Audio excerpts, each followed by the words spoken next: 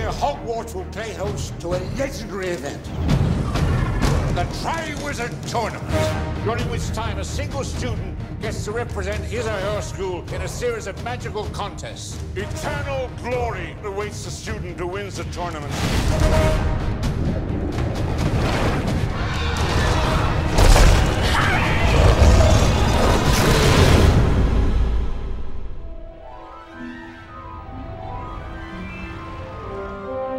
Dark and difficult times lie ahead, Harry. Soon we must all face the choice between what is right and what is easy.